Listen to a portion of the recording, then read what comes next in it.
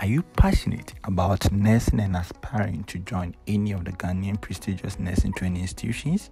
Well, you are in luck. The Ministry of Health has released vital information for the upcoming academic year. Let's dive into the details together. Alright, so the nursing training application form for 2024 2025 academic year will be released on Monday, 8th April 2024 and it will end on the 31st of May 2024. Without all qualified candidates, I'm referring to SHS leavers with a grade A1 to C6 for diploma and A1 to E8 for any of the certificate nursing programs can apply to any of the nursing training colleges in Ghana. And then for us not to make any form of mistake when applying or when we are trying to register our details with the portal, let us go through some of the few things that was indicated in the letter sent from the ministry. Alright, so when you check the first paragraph, you can see that the Ministry of Health is officially inviting all qualified candidates to apply for entry into any of the public health training institutions we have in Ghana, or let me say the nursing training colleges we have in Ghana. An all applicant that wishes to apply must note some of these few points. The first point states that all purchased vouchers are valid up to 5th June 2024 if not used. That is to say that in case you buy your form within the period that was indicated, that is 8th of April 2024 and then 31st of May, and your code was activated, you have opportunity to access the portal even when the time is up. That is 31st of may. So from 31st of may through to june 5th you have the chance to use the voucher that you purchased.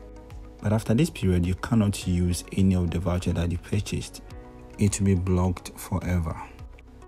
Applicant must also note that after registering your details with the portal since it is a digital system there is no need to package your details in an envelope and forward them to the school or the, the respective school that you apply to. We don't need that. Everything is now digital, so stick to that. So this year, the Ministry of Health is working with two banks at the moment, the ADB Bank and the GCB Bank. Head to any of these bank branches to buy your application codes at a cost of 200 Ghana cedis only. Likewise, you can buy with an accredited USSD code. I'll make a video on that and post it very soon, so stay tuned. Make sure to secure your unique PIN and your serial number upon payment. And remember, all purchase vouchers are valid until 5th June 2024. The next thing to do is to prepare your contact information. This means you have to ensure that you have a dedicated phone number and a valid personal email address for all correspondence.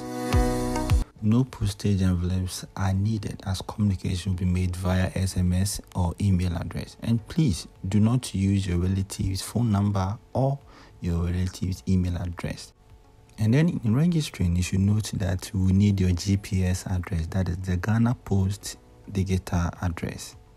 So make sure you have your residential address in mind.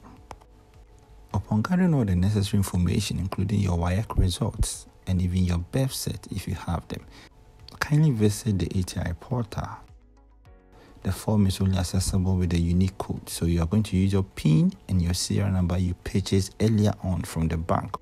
The next important thing to do is to follow instructions carefully and fill the relevant stages of the admission process once the online application is opened. Remember, you can always use your PIN and your serial to monitor the progress of your application. After following all these instructions, the next thing to do is to find relevant documents and prepare for the interview. The selection interview is one of the key processes in the nursing admission. And I have so many videos on that on this channel. Make sure you check them out. Please note this only applicants who meet the admission requirements will be invited for a competitive interview at their chosen schools.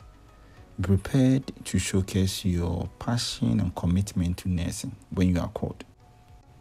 Now, if you need assistance in the registration process, it is advisable to visit any of the health training institutions nearby for assistance, since wrong filling of the form will affect your admission.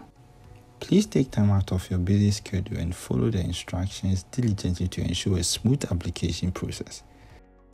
Attention to detail is key as any errors could impact your admission process. Best of luck on your journey towards becoming a qualified nurse. Don't forget to subscribe to our channel for more educational content and updates on the nursing training in Ghana. See you in the next video. Thank you.